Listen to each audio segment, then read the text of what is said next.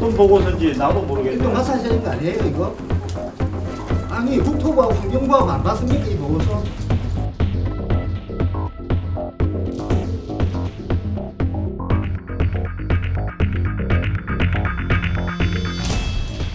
박근혜 정부는 이명박 정부의 4대강 사업에 대해 어떤 평가를 내릴 것인가?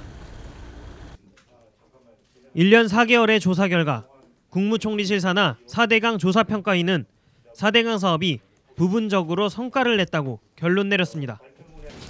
결론적으로 4대강 사업은 일정 부분 성과를 거두었다고 평가합니다. 그러나 실제 조사된 내용은 이런 결론과는 차이가 있었습니다.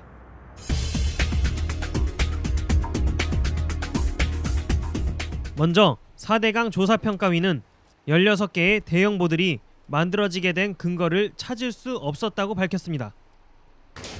다만 보의 위치 선정과 어, 선정의 기준과 과정에 대해서는 이를 확인하지 못했으며 4대강 사업이 발표됐을 때 보의 위치는 대운하 사업의 간문 위치와 수가 비슷해서 사실상 대운하 계획이 아니냐는 의혹이 있었는데 이번 조사에서도 보 위치에 대한 근거 자료를 확인하지 못했다는 겁니다.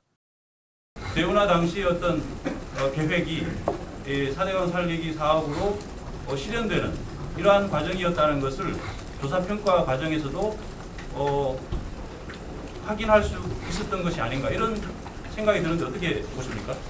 과학적, 기술적으로 답을 찾을 수 있는데 노력했다는 말씀을 드리고요.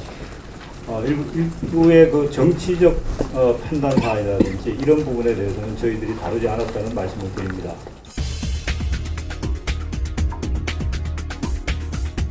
그렇다면 4대강 사업의 실제 효과는 어떻게 평가됐을까요? 먼저 이명박 정부가 가장 강조했던 가뭄해소 문제. 4대강 조사평가위는 4대강 사업으로 확보된 활용 가능한 물은 1억 3천만 톤에 불과한 것으로 조사됐다고 밝혔습니다. 13억 톤의 물을 확보해 가뭄을 완전히 해소하겠다던 당초 목표의 10% 정도에 그친 것입니다. 어, 11.7억 정도를 확보를 했는데 아직은 본류 중심으로 활용할 수 있는 포텐셜을 가지고 있는 거고 어, 직접 활용 가능한 한 1억 3,200억 정도다 이렇게 말씀드립니다.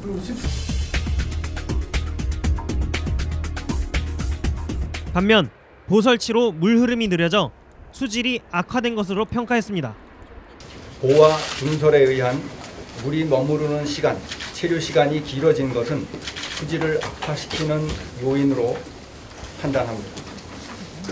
2013년에 낙동강에서 녹조 현상이 심해진 것은 강수량이 적고 물이 머무는 시간이 길어진 것이 주요 원인이었으며 뿐만 아니라 보 6곳에서 물이 새는 현상이 발견됐다고 했습니다. 16개 보 가운데 누수 가능성이 있는 9개 보를 수중 조사하였는데 이 가운데 6개 보 하류 측 물바지공에서 물이 새는 현상을 발견하였습니다. 거대한 웅덩이가 뉴스타파 현장 취재 결과 확인됐습니다. 뉴스타파는 이미 지난 2012년 창녕 함안보에서 파이핑 현상이 의심된다고 보도한 바 있습니다. 파이핑 현상은 흙 속에 물이 침투해 파이프 모양의 물길이 생기는 현상을 말합니다.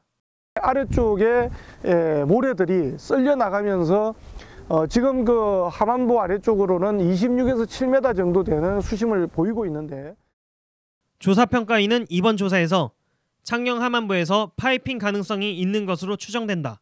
또 달성보, 합천 창녕보, 백제보에서 파이핑 현상으로 발전될 가능성이 있는 문제를 발견했다고 밝혔습니다. 그러나 막상 발표에서는 구조적 안정성의 문제가 없다고 밝혀 의문을 낳았습니다.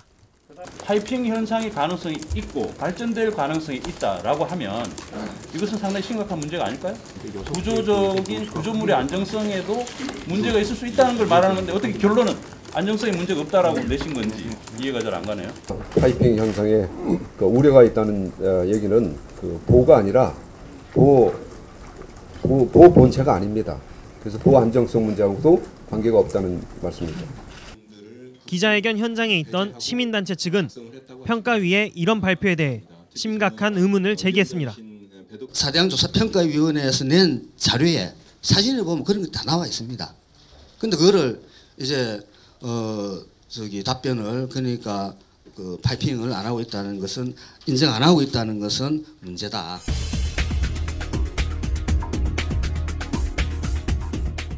생태 부문의 문제는 매우 심각했습니다. 생태공원과 생태하천을 평가한 결과 생태계 복원을 고려하지 않고 조성됐다고 밝혔습니다. 생태계 생물 분야를 한정돼서 말씀드리면 이 총체적 부실입니다. 이 지역에 수달이 있었다면 수달을 배려해주고 삭이 있다면 삭을 어떻게 생태 통로를 만들어줘야 되는데 자전거 길 천, 뭐 700km인지 만들어 놔놓고 생태 통로나 생태 축을 고려한 적은 없거든요. 이 문화관광 레저시설의 이용률은 극히 낮은 것으로 나타났습니다. 4대 강에 참여하는 국민의 비율은 저희 추정에 하면은 0.15% 정도. 그러니까 어, 상당히 낮은 거죠.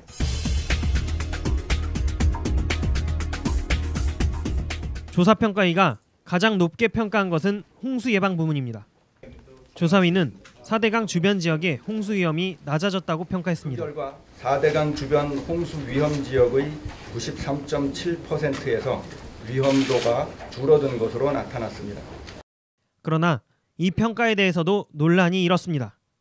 이명박 전 대통령은 2010년 당시 4대강 사업을 하면 예산 절감 효과가 매우 클 것이라고 주장했습니다. 4조억씩 매년 넣는 예산을 생각하실 필요가 있습니다. 엎드려도 평소에 4조억이 들어갑니다.